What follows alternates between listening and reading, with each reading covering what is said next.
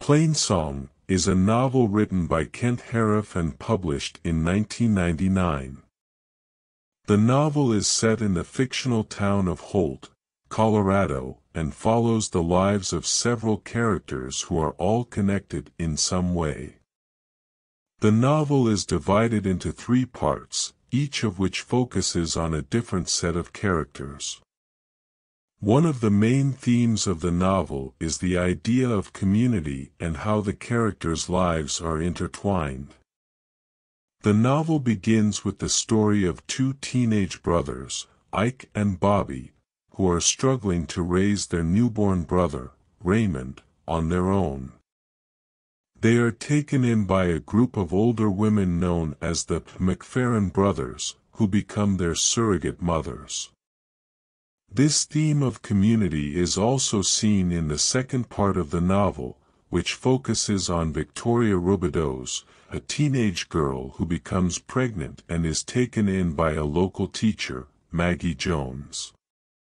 The final part of the novel focuses on Tom Guthrie, a high school teacher, and his family as they navigate the challenges of life in a small town. Another theme of the novel is the idea of isolation and loneliness. The characters in the novel all face various forms of isolation, whether it is Ike and Bobby's struggle to raise their brother on their own, Victoria's struggle as a single mother, or Tom's struggles as a father and husband. Haruf uses the landscape of the Great Plains to symbolize the character's isolation, as the vast open spaces serve to underscore their loneliness.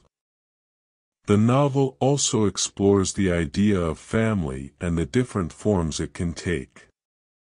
Ike and Bobby's makeshift family with the McPheron brothers, Victoria's relationship with Maggie, and Tom's relationship with his wife and children all serve to show that family is not always defined by blood relations. Haruf also explores the idea of how families can be both supportive and destructive. The writing style of Plainsong is simple and unadorned, much like the landscape of the Great Plains.